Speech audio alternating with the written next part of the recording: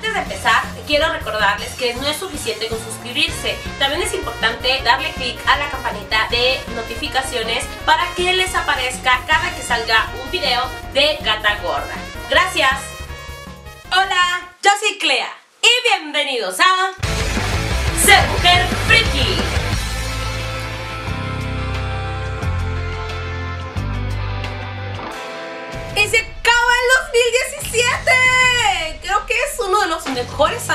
Gata Gorda. Hemos evolucionado muy distinto a como empezamos originalmente. No manches, bueno, ya llevamos a entrar nuestro tercer año en el 2018 Considero que terminar un año no solamente es ver que no cumpliste, sino también plantearte qué puedes hacer para que el otro año sea mejor. Y aquí en Gata Gorda te damos la lista perfecta para ser un otaku y friki que se respeta. Así que empezamos.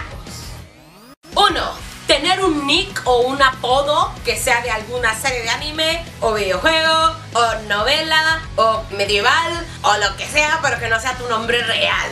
2. Que tengas una fotografía de tu waifu, de tu juzbando, cualquier cosa dibujada o personaje de cómic. 3. Que leas manga, cómics, novelas, pero de preferencia que leas al menos una que sea en la historia original de la adaptación, obviamente. 4. En el caso de los otakus decir ña, desune, toshite, ya. Cosas así locas, ¿verdad? Así. 5. Correr como Naruto en algún momento de tu vida y esto es solamente otakus. 6. Que sepas dibujar o que hayas intentado alguna vez en tu vida, por más feo que dibujes, hacerlo. 7. Tener tu OC. Y si es furry, qué hardcore. O como yo que llegué a ser uno de Sonic. Sí, los OC son importantes. 8. Cortarte el cabello como un personaje. Yo lo he hecho unas 5 veces, pero es, es obligatorio. 9. Usar ropa como un personaje, como ropa casual. Obvio, no en la combe, ¿verdad? En la calle, en el trabajo o en la escuela. Tengo conocidos que se visten como Ladybug. Punto, o sea, ahí te sobra, sobra, sobra, sobra. 10. Nombrar a tu mascota, hijo, cosa con vida que haya en tu casa o los hongos de tu baño con nombres de personajes. 11. Tener o haber tenido un correo con algún personaje. O sea, independientemente, buscas trabajo, eres Sakura-chan forever. no sé, que tú pongas en tu currículum sería más épico, pero no, no lo hagan. 12. Saberte de memoria la historia de alguna editorial, productora, escritor, mangaka, de punta a punta. 13. Poner en tu currículum que sabes japonés. 14. Tener ganas o haber intentado comer algo que vistes en alguna serie, ya sea usar palillos de cierta manera, tenedores de cierta manera, no sé, tomar la sopa con las manos como Johnny Bravo, es como que importante. 15. Para los estudiantes, poner la portada de ya sea de algún trabajo o alguna tesina, algo friki. A mí llegaron a regresar trabajos así. 16. Exponer en clases algo de cómic o de anime. ¡Ay, no! Muchos flashbacks en mi vida. 17. Que tu canción favorita sea de algo friki. Anime, películas. 18. Que te sepas las canciones y que tengas una lista de reproducción de canciones frikis. Eso es de ley. O a veces que nada más escuches eso. 19. Para otakus. Que hayas velado el Hare Hare Yukai, el Sailor Fuku o el Caramel Dance. O más si te grabaron o algo así.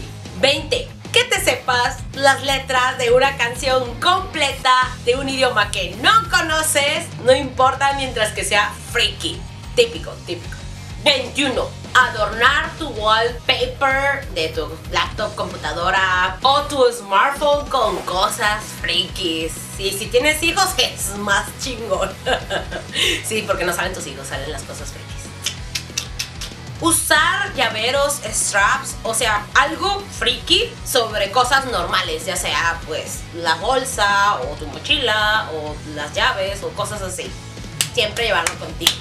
23. Si eres más hardcore, pero también es importante tener al menos cartera o una bolsa o una mochila o una corbata. Friki. Venden y la gente enorme no se da cuenta. ¡Ah, qué hermosa época de la vida vivimos!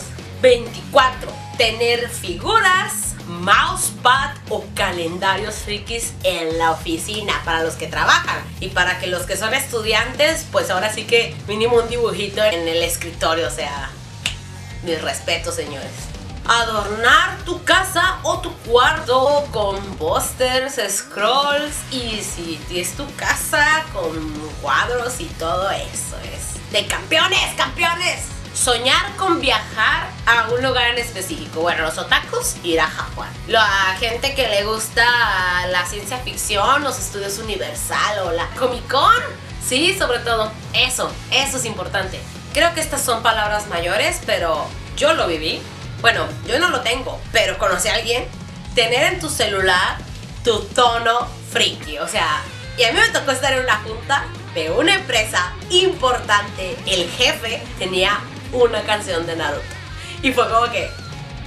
¡Ah! Sí, frío demasiado para mí. Pero ese es un friki que se respeta. 28. Tener un crush con un personaje de ciencia ficción.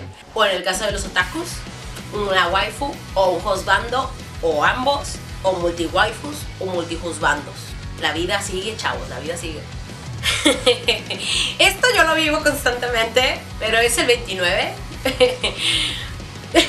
Que me da risa. Querer practicar o practicar un deporte o algo después de ver una serie o ver este algún anime enfocado a algo. En el caso de los otakus creo que es más común porque, por ejemplo, yo vi Hajime no y quería ser boxeadora. De hecho, empecé a practicar box con unos amigos y luego que da. Y por ejemplo, ahorita que estoy viendo Ballroom es como que estoy viendo videos de baile, o sea, o la gente que ve las de Love Live y quiere ser idol. O también, no sé, por ejemplo, había raza que al ver las películas de Star Wars aprendieron esgrima. O sea, hay tantas cosas, ¿verdad? Sobrepasas no solamente queriéndolo hacer y empezando a ver videos reales, sino que actuando. Es como que, uff, excelente. Y la última, y la más triste. Pero lo hemos hecho, lo hemos hecho, aunque lo más seguro es que éramos adolescentes. Yo ya no lo hago, al menos eso creo, pero es sentarte o actuar como un personaje que te gusta. Si no es suficiente cortarse el cabello, vestirse como él, ay, güey, pasa, pasa hasta en las mejores familias. Y sí, la vida sigue. Estas fueron las 30 tips para ser un friki que se respeta. Chicos, obviamente es broma. No mames, no vayan a poner abajo, pendeja. Nos quieres incitar a, actuar así. La realidad de esta lista es que, pues, eh, creo que está basado casi todas en mí y en unas amigas que son frikis cosplayers y todo eso. Entonces, como que lo hemos hecho. No me avergüenza para nada de haberlo hecho, pero sé que hay gente que, pues obviamente, sabe sus límites.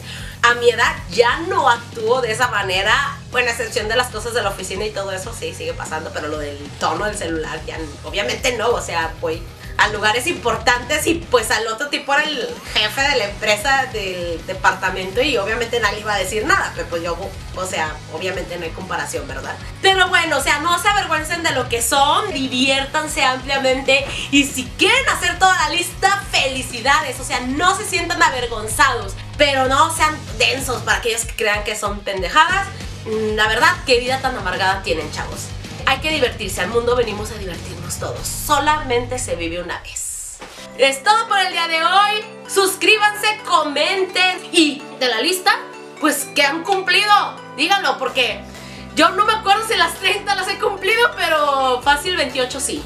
En fin, es todo por el día de hoy. ¡Feliz 2018! ¡Pacha!